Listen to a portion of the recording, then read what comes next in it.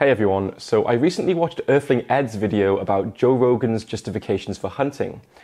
Ed made some good points. He obviously cares a great deal about the environment and the ecosystem, which is great, but I felt that at times focusing on these broader aspects might have undermined the perspective of the individual. There also seems to be a tendency to idealize nature and to see the naturally occurring state as optimal for wild animals. I'm going to point out a few instances in Ed's video where I think this is obvious. I want to clarify here that this is certainly not an attack on Ed. I'm just trying to highlight these issues because I think certain ideas may be harmful. Ed has been a great source of inspiration to me and has certainly influenced my decision to become an activist and to start my own YouTube channel. I really do think he's an exceptional activist, and I highly admire, respect, and appreciate the work he has done and continues to do for the animals. In fact, I would be flattered if Ed were to watch this video and would be more than happy to have a conversation about the issues I'm going to raise. Before we start, I want to briefly explain why I'm making this video. I became vegan after learning that farmed animals are literally being tortured for the sake of a few moments of sensory pleasure, and it's their pain and misery that motivates me to be an activist. After becoming vegan and learning about animal rights, I started to think about animal ethics more broadly which led me into learning about the lives of wild animals. And it turns out that the lives of most wild animals are filled with pain and misery too.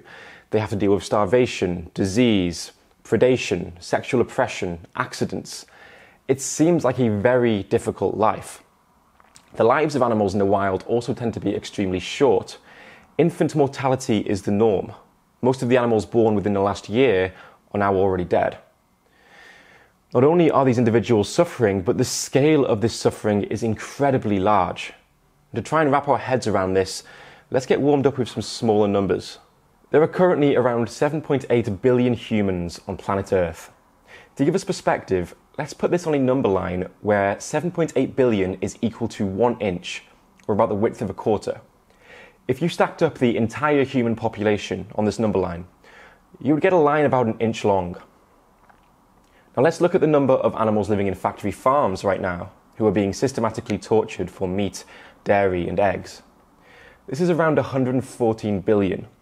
On the number line, that's about 14 inches or the width of a laptop. 114 billion is in the same ballpark as the total number of humans who have ever lived. Now let's talk about the number of wild vertebrates. Vertebrates are animals with a backbone. This includes mammals, reptiles, birds, amphibians, and fish. There are around 10 trillion vertebrates, which on our number line would equate to about 100 feet long or about as long as a basketball court. Okay, let's stop there for a second. Imagine standing on one side of a basketball court, looking up at the net above you, and trying to spot on the far end of the basketball court a quarter that's been placed on the floor.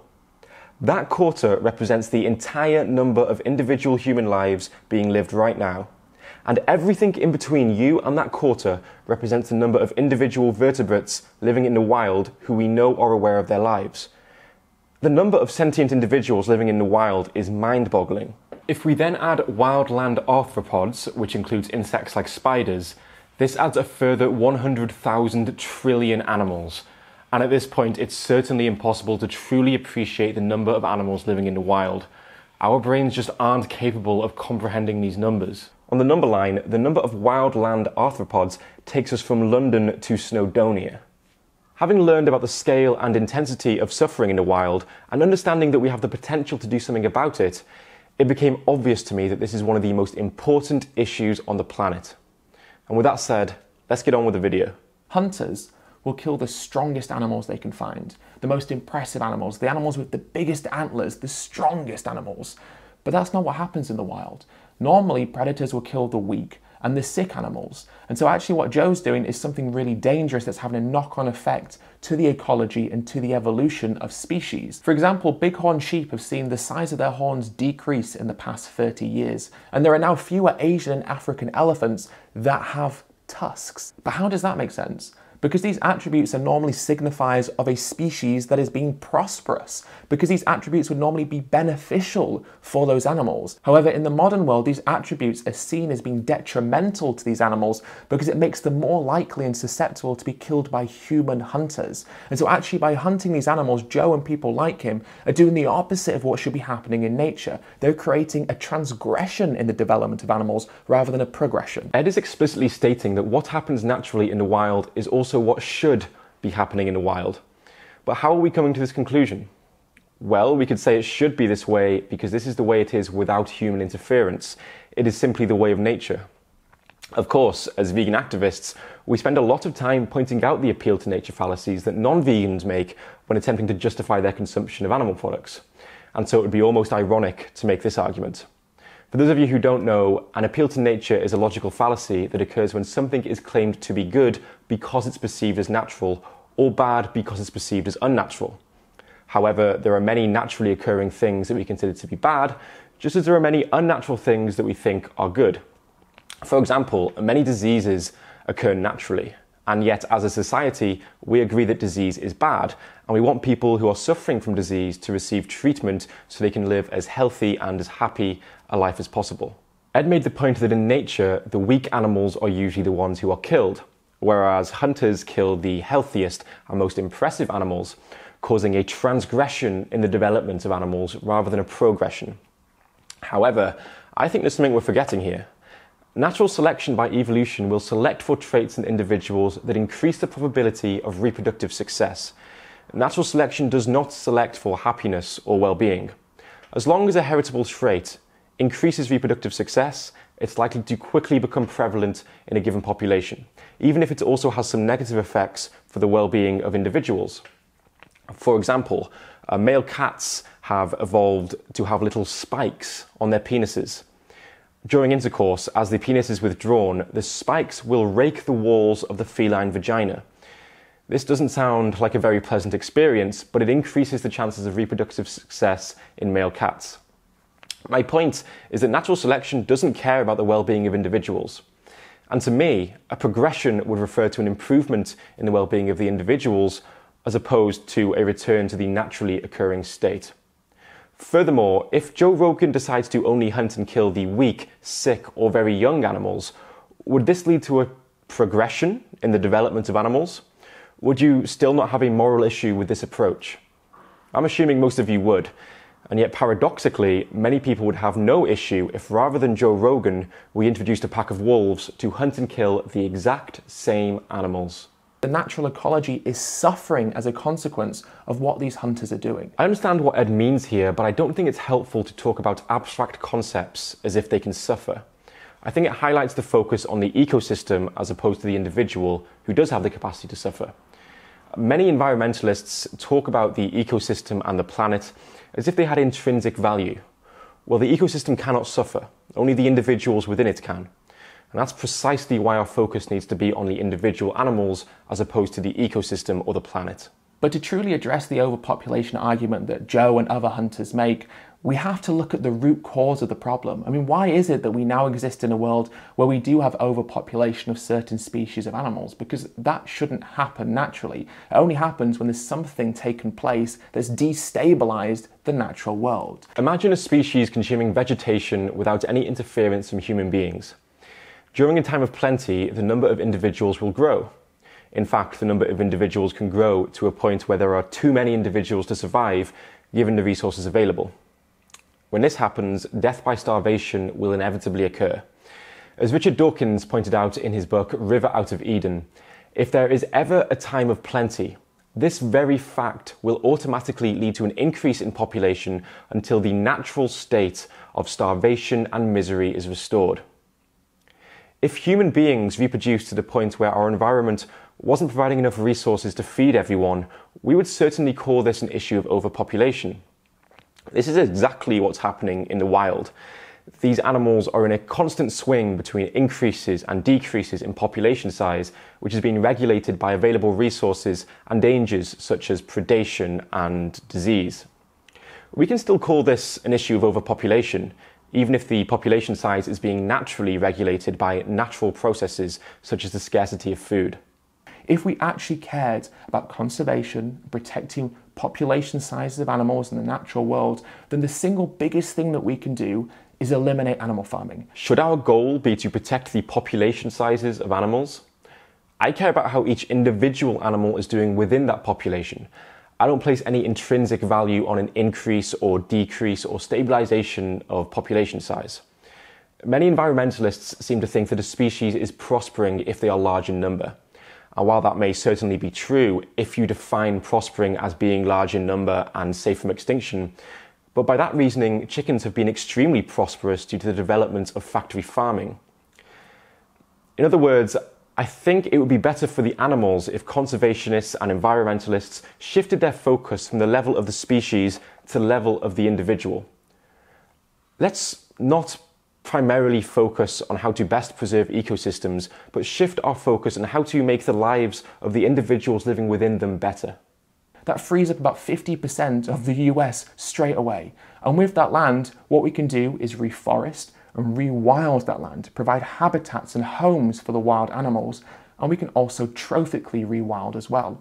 Trophically rewilding is where we introduce natural animals back into those ecosystems, predators, for example. I think the idea of controlling the population sizes of animals by introducing other animals to eat them alive is not only extremely cruel, but also difficult to hold consistently if you consider yourself non speciesist. I think it's useful to put this into a human context, so let's do a little thought experiment. Imagine a tribe of indigenous people who are cut off from the rest of civilization. Let's further assume that there have previously been bears around, who would occasionally eat some of the children and therefore the population size was kept in check. But now, due to humans hunting these bears to extinction, the population size of the tribe is getting out of control. How would you feel about reintroducing bears to hunt them down and eat them alive as a means of population control? If we're not willing to accept this in a human context, then why would we accept this in a non human context? Isn't this a textbook example of speciesism? Clearly, there are other options to control population sizes, such as different contraceptive measures, that don't entail someone being eaten alive. This idea of reintroducing animals to eat wild animals alive is not only unbelievably cruel, but something that would fill us with sheer terror if we were doing it to humans rather than non humans. And this happened in Yellowstone National Park. In Yellowstone, you're not allowed to hunt. But what happened in the 20th century is that hunters killed all the wolves because they wanted to hunt the elk themselves. Now, without the wolves, the elk population started to increase. And because the elk population increased, they started having a negative impact on the wildlife and the ecology of Yellowstone. So, what happened is they introduced wolves back into Yellowstone National Park and lo and behold, through doing so, it balanced out the population sizes of animals within Yellowstone and has now created a much healthier ecosystem and environment as a result. I understand that there are now more animals in Yellowstone and more diversity across species, but is this what we should care about? Do we value the health of the ecosystem over the well being of the individuals living within it? From my perspective, the important question is this is there more or less suffering as a result of the intervention at Yellowstone? This is an empirical question, and we haven't got the data to take a confident stance. But what's clear to me is that we need to stop talking about the ecosystem as if it's sentient and start talking about improving the lives of the individuals living within it. And that's what we should be striving to do on a larger scale. Take away the problem, the root cause of the problem, reintroduce animals, restore the natural world, and allow nature to do its thing because it's done its thing for millennia and it's always working out just about right. But then humans come in and we mess it all up and then think that we have to be the ones to take the guns and rifles to try and restore the natural world again. Whether or not nature has done its thing for millennia is completely irrelevant to whether we should allow it to continue. I was surprised to see Ed make an appeal to tradition because he spends a large amount of time debunking the appeal to tradition fallacies that non vegans make when attempting to justify their consumption of animal products. Just because something has always happened, this does not mean that it is good or desirable or that it should continue happening. Ed says that we should allow nature to do its thing because it's always working out just about right. But who's it working out right for? It certainly wasn't working out right for humans. Or was it? I mean, if it was, why did we create schools and hospitals and social care and homes to live in? I find it interesting that for us, creating an unnatural civilization is a good thing, and yet when it comes to wild animals, we seem to have this completely unjustified belief that the way things occur naturally also happens to be the optimal state for their well being, and any movement away from this natural state must be a bad thing. It's understandable that humans nowadays might get the impression that nature is always working out just about right. Most of us are shielded from all of the unpleasant things in nature. We are sitting in our warm, comfy homes, occasionally finding pleasure in the beauty of nature when we go on a long walk in the forest or watch a David Attenborough documentary. Due to our current relationship with nature, we have reason to believe that our perception of it is positively skewed, which is why we vastly underestimate the amount of suffering occurring in the wild. However, no amount of David Attenborough documentaries justifies allowing animals to experience intense suffering if we can help. I believe that within the vegan activist community especially, there is a tendency to idealize nature and the lives of the animals living within it. I mean, these are the animals who are free, right? They're free from enslavement, free from the tyranny of human beings.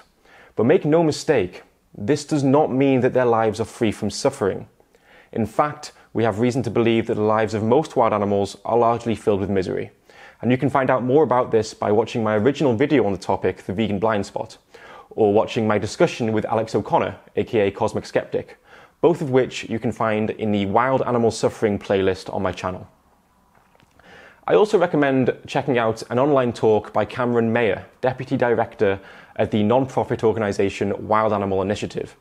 There's also a very informative lecture series on the Animal Ethics YouTube channel. If you're looking to learn more about the dangers faced by animals living in the wild, then this is a series you should definitely watch.